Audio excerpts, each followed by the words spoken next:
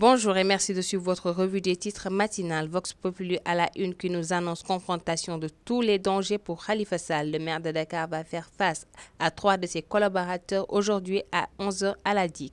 Deuxième passage à la DIC aujourd'hui a aussi titré nos confrères de l'As quotidien Les enquêteurs visent le faux.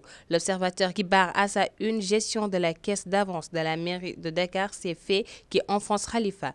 La DIC a encerclé Khalifa Sall et compagnie nous informe Libération enquête sur le banditisme financier présumé à la mairie de Dakar. Victime d'une fracture mal plâtrée, amputée puis atteint d'une infection, nous, confie Enquête, Bekay est mort. L'enfant de 6 ans décédé hier a été victime d'une cascade d'erreurs médicales.